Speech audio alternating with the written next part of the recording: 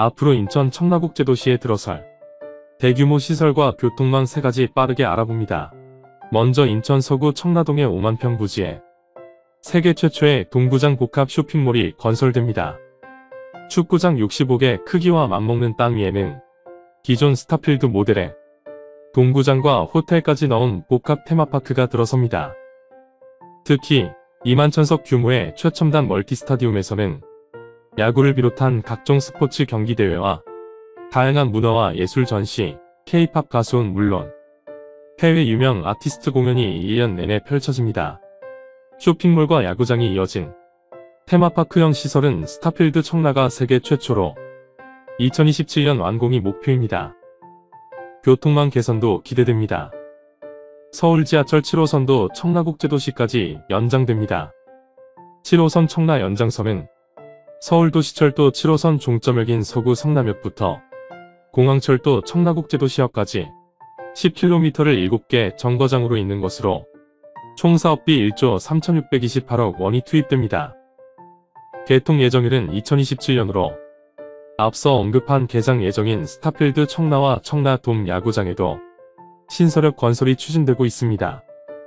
이번 청라 스타필드 개발 계획 발표와 함께 성남역에서 청라국제도시를 거쳐 공항철도 청라국제도시역까지 연결하는 노선도 속도가 붙을 전망입니다. 7호선이 서울 강남권을 두루 거치는 만큼 일대 주택시장에 미치는 파급력도 예상됩니다. 무엇보다 7호선 청라 연장선이 완공되면 공항철도와 인천 지하철 2호선과도 연결돼 인천 서북부 지역이 서울 접근성과 교통 편의가 대폭 개선될 것으로 기대됩니다. 마지막 세 번째는 경인고속도로 지하화입니다.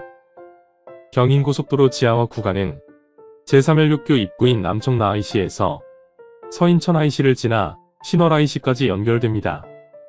지하고속도로가 개통되면 인천 청라와 서구 가정에서 여의도까지 약 20분 만에 도착할 수 있습니다. 이 지하화 도로는 이미 개통된 서울 신월여의 지하고속도로와도 곧장 연계돼 영종과 청라, 루원시티를 거쳐 서울 여의도까지 이어지는 약 26km의 지하 경인축이 구축될 전망입니다. 국토부가 공사 기간을 5년에서 7년으로 추정하는 만큼 사업이 예정대로 진행될 경우 빠르면 2032년 개통이 가능할 전망입니다. 부동산 침체 속에서 청라국제도시에 모처럼 호재가 잇따르고 있습니다. 앞으로 코스트코와 아산병원, 청라시티타워, 하나금융타운 조성 역시 기대해 봅니다. 알아두면 도움이 되는 국토개발 소식. 지금까지 인천 청라국제도시에 들어설 동구장과 교통망에 대해 알아봤습니다. 끝까지 시청해주신 여러분 감사합니다.